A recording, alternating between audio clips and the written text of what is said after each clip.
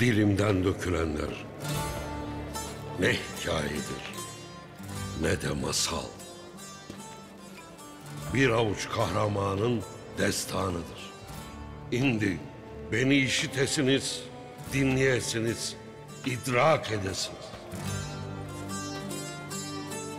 Aslında her şey ikra ile başladı. Oku. Yaradan Rabbinin adıyla oku.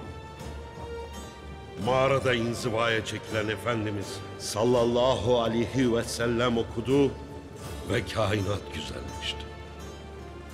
Haydar Kerrar Ali okudu, zalimlerin ateşi söndü. Tarık okudu, Endülüs doğdu. Alpaslan okudu, Anadolu vatan kılındı. Mehmet okudu, İstanbul yar oldu. Süleyman okudu, Bağdat diyar oldu. Unuttuk okumayı ve zalimler sultan oldu. Toprağımıza namertler göz diker oldu. Tam iki ay oldu Nazlı Hilal'i görmeyeli.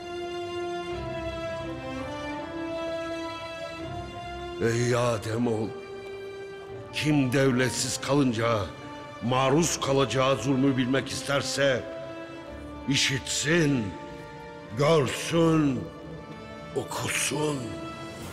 Ben Baba Haydar, toprağın ateşle piştiği diyar, Kut'un evladıyım. Şimdi düşman elinde esir olup perişan olan bu vatanın bir neferiyim.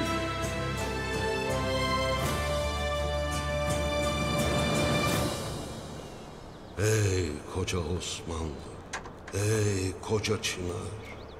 Nedir bu ahvalin? Nedir bu çilen? Bil ki asıl esaret umudun tükenirse başlar. Hürriyet ruhları terk ederse biter.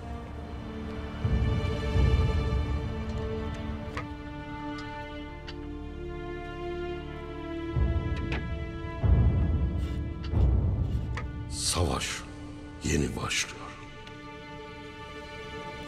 Zulme inat, adaletin ateşi harlanıyor.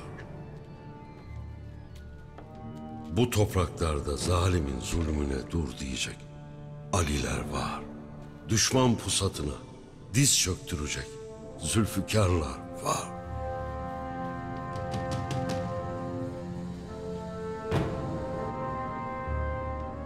İndi yeniden destanlar yazma vaktidir.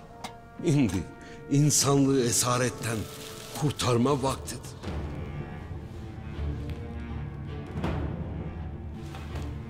Haydi. Ya Allah Bismillah.